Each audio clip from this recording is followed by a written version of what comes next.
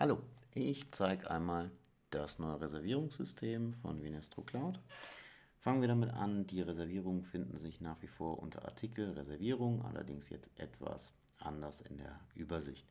Die Reservierungsübersicht hier in diesem Account zeigt keine Einträge, wir werden gleich die ersten zusammen einlegen, anlegen. Hier kann man jetzt aussuchen, für welche Kunden, welche Artikel oder für welches Lager man, man die Ansicht einschränken will, genauso wie hier das Bezugsdatum. Ähm, das bedeutet also, Reservierung kann ich auch in einer Historie gleich sehen. Um eine Reservierung anzulegen, geht das jetzt ähm, über die Auftragsmaske. Gehen wir einfach mal auf, den, äh, auf einen Kunden, sagen wir die Erna. Der möchte ich jetzt etwas reservieren sagen wir den Artikel 1702 und von diesem Artikel gerne 100 Stück. Ähm, die kann ich ganz normal erfassen, wie in jedem anderen Auftrag auch. Ich kann hier auch ähm, alle möglichen anderen Artikel benutzen. Ich sage mal hier den Korkenzieher, den kann ich auch beispielsweise um 250 Stück ähm, reservieren. Ähm, interessant ist hier, man da kann mehr reservieren, ähm, als man im Bestand hat, egal welche Systemeinstellungen man eingestellt hat. Man könnte ja auch ähm, einfach eine Füllung, die noch nicht vorhanden ist, die noch, noch im Fass liegt, ähm, bereits reservieren. Also das ist der, eine Besonderheit der Reservierungsaufträge. Ähm, gut, jetzt habe ich zwei Positionen eingefügt. Mal noch ist gar nichts passiert. Erst dann, wenn ich eine Reservierung erstelle, bekomme ich ein PDF dieses PDF kann ich dem Kunden zugänglich machen, ganz normal per Mail schicken als Dokumentation. Ähm, in diesem das PDF kann ich auch genauso wie alle anderen Dokumente in Vinestro Cloud auch ähm, aktualisieren. Das heißt, wenn ich den Auftrag bearbeiten möchte und jetzt mich vertippt habe, ah, es waren jetzt 25 Korkenzieher, kann ich das wie üblich hier bearbeiten, aktualisieren. Und dann würde das entsprechend angepasst, solange die Reservierung noch nicht ähm, angegriffen ange ähm, wurde. So lange geht das noch. Gut, gehen wir zurück zur äh, Reservierungsübersicht. Die sollte sich jetzt etwas verändert haben und uns diese beiden Positionen aufzeigen. Das tut sie auch. Ähm, ich kann dann hier ähm, ein Datum auswählen und entsprechend uh, umstellen, welche Reservierung es vielleicht gestern noch gab ähm, oder in den zeitlichen Verlauf angucken. Für den Moment jetzt, interessiert uns erstmal der aktuelle Bestand, äh, aktuelle Stand. Ähm, hier kann ich nochmal gucken, die Ansicht, hier kann ich nochmal zeigen, welche Lager ich auslegen kann. Ich kann also hier sehen, okay, äh, der Korkenzieher ist im Außenlager nie reserviert, im Hauptlager ist der Korkenzieher reserviert. Ähm, das sind die Res alle Reservierungen im Hauptlager. Ich kann auch genauso nur einschränken, zeigt mir alle Reservierungen von Erna, die den Korkenzieher betreffen, im Hauptlager oder über alle Lager hinweg. Diese Ansicht ist also wirklich die Übersicht für, für Sie oder für euch, ähm, immer einen Überblick zu haben, was gerade noch aktuell reserviert ist, beziehungsweise auch über das Datum, was reserviert war. Die Ansicht könnt ihr euch jederzeit exportieren, sowohl in Excel als auch ins PDF. Hier wird es noch eine Ansicht für den Kunden geben, die wird sich noch in den nächsten Wochen sicherlich noch mal ein bisschen anpassen. Ähm, aber das sind so die Möglichkeiten, die wir hier an der Stelle haben. Wenn wir die Reservierung bearbeiten wollen, kann ich das unter anderem hier tun. Ähm, jetzt wurde mir, das gab es früher auch schon, ein Auftrag angelegt mit allen noch offenen Reservierungen für diesen Kunden. Und die werden mir hier direkt als Position in Auftrag gegeben. Das ist jetzt ein normaler Auftrag, erkennt man hier in dem normalen AU, zu dem ich alle möglichen ähm, Belege erzeugen kann. Ähm, wenn ich davon ausgehe, dass ich zum Beispiel hier nur 25 abrechnen möchte, trage ich natürlich weiterhin nur 25 Stück davon ein, kann das also nur teilweise machen. Wenn ich ein, jetzt davon ausgehe, ich erfasse einen normalen Auftrag, gehe gar nicht den Weg, den ich eben gegangen bin, sondern habe einfach nur einen neuen Auftrag für Erna Schipulski erfasst und verkaufe den Artikel 1702, dann sehe ich hier in grün hinterlegt, ah, okay, ist reserviert für diesen Kunden. Und hier sehe ich dann den Gesamtbestand plus die Reservierung für ihn für, oder für diese Dame und den ähm, Bestand über alle Lager. Hier sehe ich das auch nochmal für jedes Lager einzeln. Grün hinterlegt heißt das hier ähm, eine Reservierung für dieses, diesen Kunden in diesem Lager, für diesen Artikel vorliegt. Gehe ich hier jetzt in die Anzahl rein, sagen wir, auch hier werden 25 abgerufen, kann ich das also hier ganz normal verkaufen. Gehe ich auf Rechnung, wird mir in dem Moment, wo die Rechnung erstellt wird, die Reservierung entsprechend abgezogen. Falls ich die, Reser ähm, die Rechnung einmal aktualisiere, wird auch das mit berücksichtigt. Also da braucht man, kann man, braucht man seinen Workflow gar nicht in irgendeiner Form ändern. So, gehen wir jetzt in die Reservierungsübersicht zurück, nachdem wir die Rechnung an Erna Schipulski geschrieben haben und schauen mal, was hier die momentan gemacht hat. Gehen wir in die Reservierungsübersicht. Aha, und hier sehen wir, die 250 sind jetzt noch 100, 225, 25 sind abgerufen. Das ähnliche analog ist hier zu finden.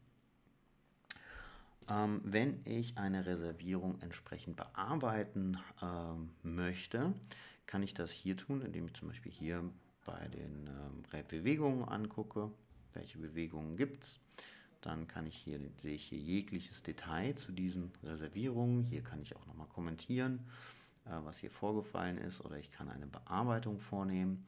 Sagen wir, ich hätte mich hier schon vertan und wollte eigentlich nur äh, 150 äh, reservieren, dann könnte ich hier auf Bearbeiten gehen, sage die Menge, das sind minus 100.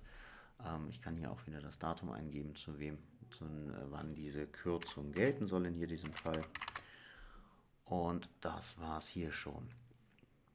Dann könnten wir das hier entsprechend bearbeiten. Sehen jetzt, jetzt sind noch 125 offen. Diese Kürzung könnte ich jetzt ähm, auch noch löschen oder auch nochmal nachbearbeiten, je nachdem, ähm, ob es der letzte Eintrag ist oder nicht. Wenn das nicht mehr möglich ist mit dem Löschen, ist entsprechend das Symbol ausgegraut. Ähm, auch diese Ansicht hier kann ich ähm, einschränken auf verschiedene Lager, auf verschiedene Artikel. Man kann also alle Artikel ansehen. Ich kann ähm, Einzelartikel ansehen. Ich kann mir alle Kunden anzeigen lassen. Ich kann mir entsprechend das nur verkleinern lassen. Ich kann hier auch wieder Vorgänger, Nachfolger, Vorgänger und Nachfolger inkludieren. Die Ansichten hier lassen sich auch wieder als PDF, als Excel exportieren.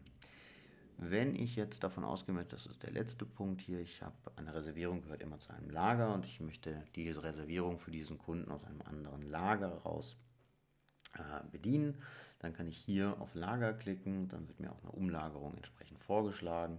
In das Außenlager sollen 125 jetzt reserviert werden und die 125 im Hauptlager werden wieder freigegeben. Wenn ich das speichere, komme ich hier wieder hin. Ähm, alle Lager. Jetzt sehe ich, hier werden 125 abgezogen und hier werden 125 in das andere Lager umgebucht. Ist also sehr analog zu einer normalen Bestandsumbuchung, wobei hier nur die Reservierung umgebucht wird. Machen wir das wieder rückgängig. So, indem ich die beiden Einträge lösche, ähm, gehen wir davon aus, ich möchte jetzt hier eine Änderung vornehmen, die ich aber auch per PDF ähm, dem Kunden zukommen lassen möchte. Ähm, dazu gehe ich wieder hier auf Neureservierungsauftrag. Jetzt kann ich hier wieder meine Artikel einfügen. Ich bin direkt für den Kunden und kann hier allerdings jetzt die Anzahl hingeben, sagen wir minus 25 anfügen. Das kann ich mit einem Reservierungsauftrag äh, machen. Hier kann ich dann wieder einen Reservierungsbeleg erstellen der halt genauso diese Änderung dokumentiert, an den Kunden geschickt werden kann. Hier stehen dann minus 25, das wäre dann die Kürzung dazu. Ähm, gehen wir wieder in die Reservierungsübersicht. Jetzt sehen wir hier, die 25 fehlen auch hier. Abgerufen sind weiterhin nur 25. Abgerufen heißt wirklich, was ist abgerechnet worden mit einer entsprechenden Rechnung.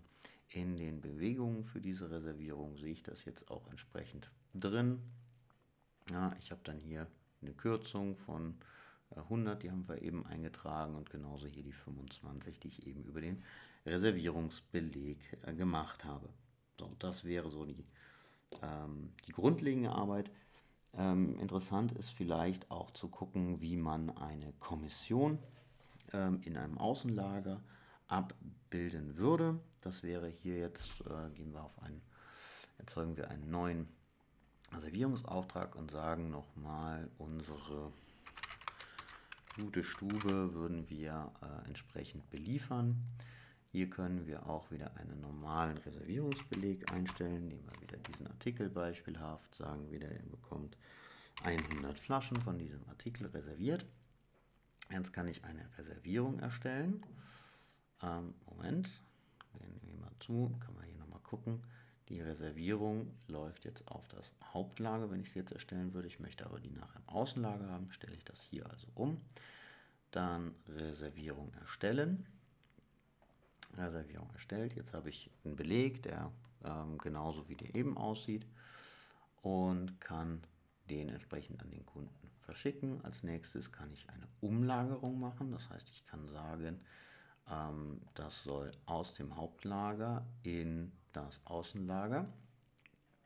Und jetzt habe ich eine, dazu noch eine Umlagerung erstellt. Das heißt, ich habe jetzt einmal die Bestandsbewegung vorgenommen, dass 100 Flaschen vom, ähm, äh, vom ähm, Hauptlager in das Außenlager gehen. Und zum anderen habe ich eine Reservierung erstellt auf das Außenlager. Hier ist jetzt die Umlagerung, ähm, die man hier sehen kann. Die können Sie dann an Ihren ähm, ja, intern einfach als, als Auftrag mit benutzen, ähm, dass etwas hin und her bewegt werden soll im Lager oder abgeliefert werden soll.